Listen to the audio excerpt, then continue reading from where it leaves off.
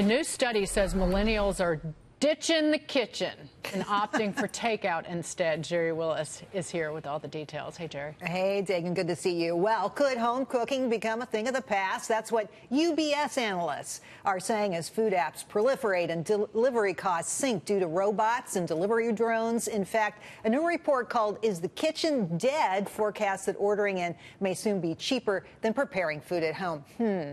The thinking goes like this. According to UBS, by 2030, online food delivery could command 10% of the total food services market.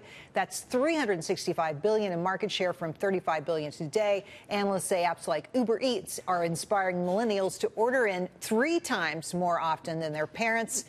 And you know, it's not just convenience spurring sales, it's also an improvement in the quality of food offered. Millennial faves like Panera and Taco Bell are making pushes into delivery Chipotle reporting delivery sales skyrocketed 667% this spring.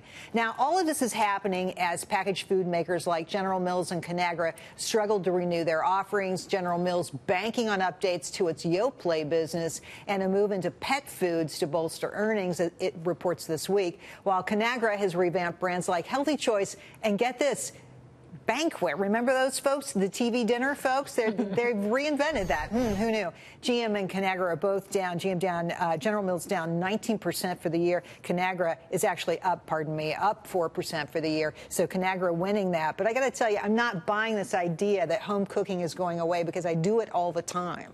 I agree. Uh, I think it's. I mean, don't get me wrong. I think we're. I'm, I'm, I'm, a millennial. I order in a little bit more because there are better options. But nothing beats a good home cooked meal, and I can still throw down. Yeah, and I just want to add to the reason why we're seeing a difference between millennials and other generations. One, home economics courses that teach cooking. A lot of it has been cut from American schools. Two, Amen. You, uh, you also have families that are start when uh, older generations they started their families old uh, at a younger age, so they had to start cooking for more people. That's not the case. You have millennials that are working uh, sometimes, you know, double jobs with the um, the mm-hmm. sharing economy and all that. So I feel like often we're hating on millennials. Soon it'll be the Gen Z.